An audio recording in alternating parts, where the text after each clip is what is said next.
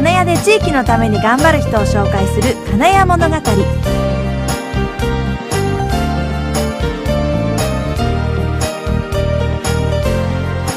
今回は島田市金谷野の花の会会長の大久保正彦さんにお会いしています。よろしくお願いします。こんにちは。今私の眼下には大井川そしてその大井川越しに富士山駿河湾まで見える大パノラマが広がっています牧之原大地の最も高台に位置します。牧之原公園に大久保さんと一緒にやってきました。こちらの片栗園。今年も花が咲き始めたんですね。大久保さんこの片栗の花なんですが市指定の文化財ああるいはこう天然記念物にもなっているということで,、えーです。とても珍しい花だそうですね。はい。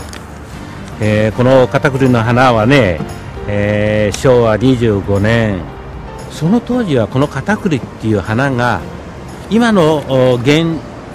在の場所からあー南に関して大体2キロぐらいのところまではね、えー時期になりますとパラパラ咲いてました、はい。ええ。この場所もね、今はこんな見渡す限りね、えええーここ、まあ、全部咲くと、まあ、大体1万ぐらいの花咲きますが、はいはい。その当時は大体1メートルに1本ぐらいずつね、あポツポツという感じね。てる状態だはいったです。あの金網で囲まれた斜面ですね、今、ええ。かなりの急斜面に木道が整備されています、うん。えー今、これ、広さは片栗園、どのぐらいですか、えーっとね、えー正確ではちょっとありませんが、あー10年ほど前に測量したとき、2100平方ね、はい。えーあります。ね、昔はポツポツということですが、今は群生しているというね、えーそうね。本当にあの 可愛らしい5センチぐらいのお花がね、ポッポッポッポッと下を向いて咲いているんですけれども、この濃い緑の葉っぱからスーッと細い茎が伸びましてね、あの薄い紫色の花ですよね。あのこの大井川流域で自生しているというのが非常に珍しいんだそうですえね。あのー牧之原大地でも北、東寄りのこの一角だけにしかないですが、ここはなぜ天然記念物に指定されたかというと、片栗の花というのは、長野とか東北、新潟、北海道にはあ普通に見られます。あ割と広い範囲で分布しているということですね。こういうふうに静岡のような、あの温暖の場所としてはあー昔からそのまま手つかずで会うのはここだけで、ほとんどのお今片栗園は今ぞ造園屋さんですね、はい。なんとか公園とかそういうふうな手の入ったあ片栗でありますので、はい。ここはあ江戸時代からずっと自生したっていうことで私たち昭和25年から一度も肥料をやったことはなし、はい。うん。ただ一度だけあの秋口ですね。セイタカアワダチソウとか外来種がね張り込むとダメになっちゃいますので、はい。そういうののおのを取るとかね、うん。そのようなことであとはあ全然あの植え替えとか何かしていません。この貴重な花を守るために野の花の会がしていることというのは、あえて手をかけないことということなんですえーっとね、野の花の会ね、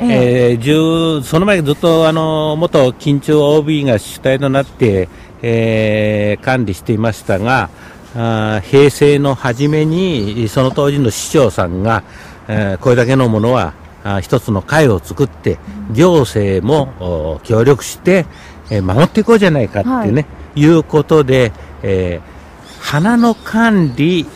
は全部その会員ね、だが、やっぱり他の手続きとか、あー会員の土地のお駐車場の整理とか、それは全部行政。うんうんうん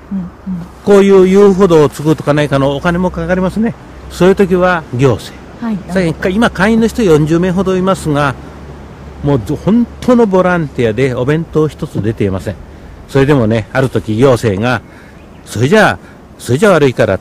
てお弁当代ぐらいって言ったらね、お弁当代もらうだったら私ら会員辞めるよなんてね、あの、言って、えーくれる人が多くて、私は本当に、あの、その時はね、あの、嬉しかったですね。心の温かい方が集まっていらっしゃるんですね、その40人の方々に大久保さんをはじめね、40人の方々に見守られているこの片栗の花なんですけれども、その特徴を教えていただきたいんですがあ。花が見られるまでにずいぶん長い年月がかかるそうですね。そうですね。普通のチューリップやないかみたいに球根ができまして横へ増えるものでなくてあくまでもらっきょう状の輪形って言いますが、はい、今年花が咲くのはそれから出てきますが、はい、来年用によって花終わってから横へ一つだけね、はい、あの続くだけで球根輪形によって増えることないです。だからだからそれじゃどうして増えるかっていうと、うん、花が咲きますと丸花鉢っていうのが飛んできましてちょっとこう団子のようなねあのクマンバチみたいな、うん、あれが飛んできましてこの花の中でねバタバタバタバタって言ってあのこう受粉するですね。そうすると花が終わったああと大体6月ぐらいまでに、うん、えー、大体20坪から30坪の大きさがあそうですね1.5センチぐらいの種が入ってるその枠ができますね、うん、その中に黒い黒いっていうか茶色ぐらいですね米粒の半分ぐらいの種が入ってます、うん、それが落ちまして、うん、それを待ち構えていたアリですね。黒アリちょっと大きめの。その種にはねちょっとこうアリさんが舐めると美味しいようなものが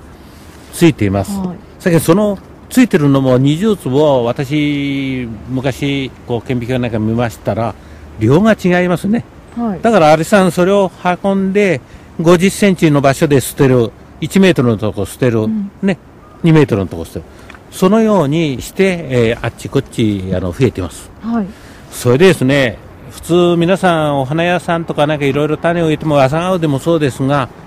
植えるとすぐと花が咲くような感じますでしょ？そうですね。春に植えたら夏に咲くみたいな、ね、1年目はね、はい、松葉の1本のがねスーって出てきます。はい。